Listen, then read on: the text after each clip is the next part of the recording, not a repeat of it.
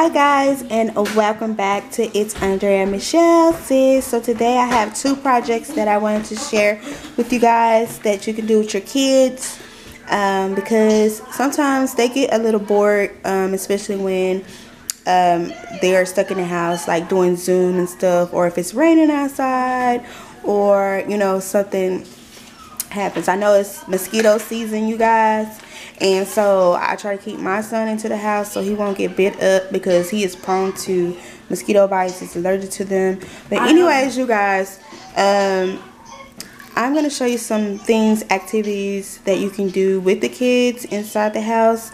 This is my... Um, and remember to subscribe, click the notification bell, and ring that bell. all right and so thank you. And so um, this is my flower that i got at the lovely cvs pharmacy. They have these for uh, $3.99 um, and i got just a normal um, grass they're grass seeds.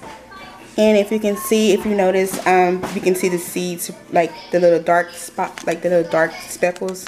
Those are the seeds um, so yeah, it comes with the seeds. It comes with the little dirt pellet. And it also comes with the little snakey snake vase. I cannot wait to try that out. Um, and this is for my son. I bought my son one of these as well. Um, he has the moose. And her name is Maggie. It came from Dollar Tree. Um, they have a lot more of these. They have um, where are they?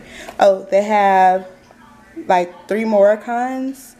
So your kid can pick out whichever one they wanted. My son wanted the moose, so I thought it was time that we can start planning. And plus, in his class, they're learning about like uh, this um, the the reproduction of growing flowers. So I thought this would be really good to um, do with him.